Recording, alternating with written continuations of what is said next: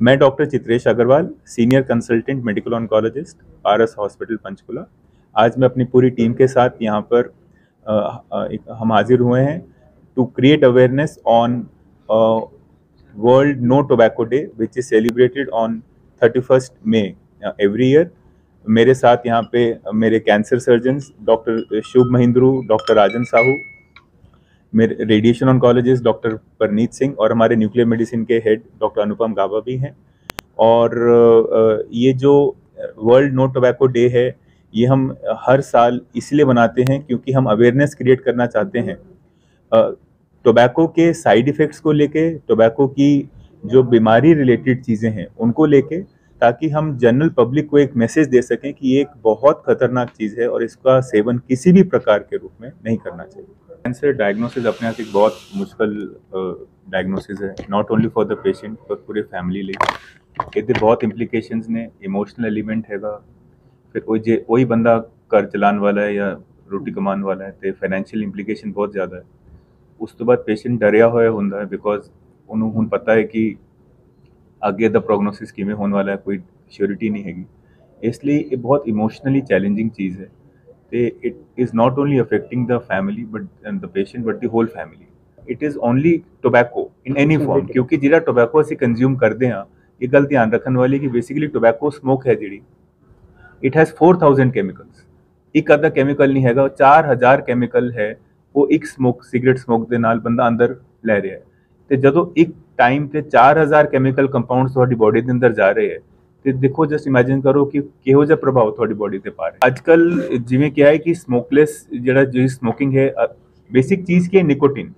Nicotine addiction ਹੈ ਤੇ ਅੱਜ ਕੱਲ ਨਿਕੋਟਿਨ ਰਿਪਲੇਸਮੈਂਟ ਥੈਰੇਪੀਜ਼ ਨੇ ਨਿਕੋਟਿਨ ਰਿਪਲੇਸਮੈਂਟ ਪੈਚਸ ਨੇ ਨਿਕੋਟਿਨ ਟੈਬਲੇਟਸ ਨੇ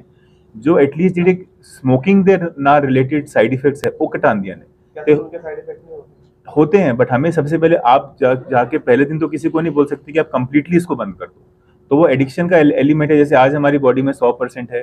तो उसको धीरे धीरे धीरे धीरे हम लोग सेंसिटाइज करते हैं। सेंसिटाइज करके धीरे धीरे उसका जो निकोटिन की मात्रा है बॉडी में, वो कम करते हैं और फिर एक लेवल के बाद आके पेशेंट वो छोड़ पाते हैं। तो इट्स ए कंडीशनिंग प्रोसेस लंबा प्रोसेस है पेशेंस वाला प्रोसेस है एंड इसमें बहुत ज़्यादा कंटिन्यूस मोटिवेशन चाहिए। Both from the doctor side family side and patient himself तो ये सब चीज़ें अगर कलेक्टिवली आदमी करेगा तो डेफिनेटली पीपल छोड़ सकते हैं। But it's a difficult thing और पॉजिटिव री बहुत ज़्यादा चाहिए हर लेवल पे ये करना है। एक्चुअली ऑल्टरनेटिव थेरेपीज जो हैं, वो हम क्लिनिकल प्रैक्टिस में देखते हैं तो बहुत ज़्यादा सक्सेसफुल बट किसी का लंबा ट्रीटमेंट कितना चलना है, वो डिपेंड करता है कि आपकी बीमारी किस स्टेज पर डायग्नोज हुई और क्या बीमारी तो कोई जनरलाइज स्टेटमेंट नहीं दिया जा सकता। अगर अर्ली स्टेजेस हैं, अगर कोई जैसे स्तन का कैंसर है लेडीज़ में, बहुत कॉमन है ब्रेस्ट कैंसर अगर अर्ली स्टेज पे डायग्नोज हुआ तो इसको जड़ से खत्म करने के लिए सर्जरी कर सकते हैं। उसके बाद रिपोर्ट के हिसाब से आगे रेडिएशन या कीमो लगना है कि नहीं लगना, वो डिसाइड होता है। नो टोबैको डे से जो मैसेज है कि all these product should not be consumed because ये आपकी डायरेक्टली लाइफ के साथ खेल रहे हैं and many precious life are lost every year due to this addiction world tobacco day ਤੇ ਸਾਡਾ ਸਭ ਤੋਂ ਵੱਡਾ ਮੈਸੇਜ ਤਾਂ ਇਹ ਹੈ ਕਿ ਟੋਬੈਕੋ ਦੀ ਸੇਵਨ ਕਿਸੇ ਵੀ ਫਾਰਮ ਵਿੱਚ ਨਹੀਂ ਕਰਨਾ ਹੈ। ਚਾਹੇ ਉਹ ਟੋਬੈਕੋ ਚੂ ਕਰਨਾ ਹੈ, ਉਹਨੂੰ ਸਮੋਕਿੰਗ ਦੇ ਥਰੂ ਕਰਨਾ ਹੈ ਜਾਂ ਹੋਰ ਹੁੱਕਾ ਵਗੈਰਾ ਚ ਕਰਨਾ ਕਿਉਂਕਿ all these things lead to cancer ਕੋਈ ਕੈਂਸਰ ਮਾਊਥ ਦਾ ਕੈਂਸਰ ਫੇਫੜੇ ਦਾ cancer breast cancer bladder cancer ਇਹ ਸਾਰੇ ਕੈਂਸਰਸ ਬੜੇ ਕਾਮਨਲੀ ਹੋ ਜਾਂਦੇ ਨੇ ਸਮੋਕਿੰਗ ਨਾਲ। ਤੇ ਜਿੰਨਾ ਆਪਾਂ ਇਹਨਾਂ ਟੋਬੈਕੋ ਯੂਜ਼ ਨੂੰ ਕੰਟਰੋਲ ਕਰਾਂਗੇ ਔਰ ਇਹਨੂੰ ਇੱਕ ਧੀਰੇ ਧੀਰੇ ਖਤਮ ਕਰ ਦਾਂਗੇ ਉਨੀ ਹੀ ਜਲਦੀ ਆਪਣਾ ਇਹ कैंसर ਨੂੰ ਆਪਾਂ ਹੋਰ ਘਟਾ ਸਕਦੇ ਹਾਂ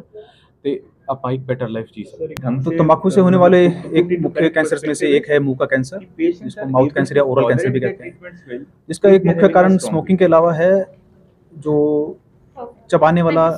तंबाकू है जैसे गुटखा या खैनी के रूप में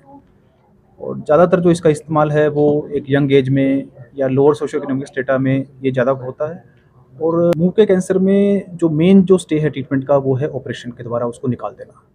और वही एक बेस्ट रिज़ल्ट देता है। कई बार ऑपरेशन के बाद हमें रेडिएशन या कीमोथेरेपी की रिक्वायरमेंट भी रहती है। देखिए, तीन चीज़ें इंपॉर्टेंट है। नंबर वन हमें क्लिनिकल एग्जामिनेशन से पता लग जाता है कि किस स्टेज का कैंसर है। मुँह का कैंसर और उसके साथ अगर गले में गांठ है तो वो स्टेज थ्री कैंसर हम मानते हैं।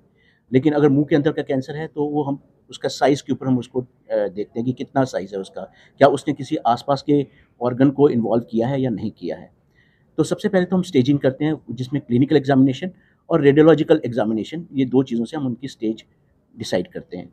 इसके बाद बायोप्सी लेने के बाद हमारे पास कंप्लीट वर्कअप होता है, जिससे हम ये डिसाइड करते हैं कि पेशेंट की स्टेज वन है टू है थ्री है या फोर है। अर्ली स्टेज पेशेंट्स को हम क्योर कर सकते हैं, लेकिन जो एडवांस स्टेज पे कैंसर्स हैं स्टेज थ्री स्टेज फोर उसमें हम ट्रीटमेंट करके उनकी लाइफ प्रोलॉन्ग कर सकते हैं। ऐसा नहीं है कि सिर्फ़ लाइफ प्रोलॉन्ग होती है उसमें कुछ ऐसे सबसेट ऑफ़ पेशेंट्स भी हैं जो अच्छे से क्योर भी हो जाते हैं और लंबी लाइफ जी सकते हैं। मतलब पहली या दूसरी स्टेज के कैंसर को आप मेडिसिन से ट्रीट करते नहीं नहीं सर्जरी फॉलोड बाय रेडिएशन सबसे इम्पोर्टेंट तो ये है कि टोबैको और टोबैको रिलेटेड प्रोडक्ट्स जैसे जर्दा खैनी इन सब चीज़ों से दूर रहें। आ, कुछ लोग ये कहते हैं कि एक बार खा के देख लेते हैं, पर ये इससे लत लग जाती है बिकॉज़ इसमें जो निकोटिन है, वो बहुत ज़्यादा एडिक्टिव है। तो इस तरफ़ हमें जाना ही नहीं चाहिए, लोगों को ये टोबैको रिलेटेड प्रोडक्ट्स लेने ही नहीं चाहिए और ट्राई भी नहीं करने चाहिए।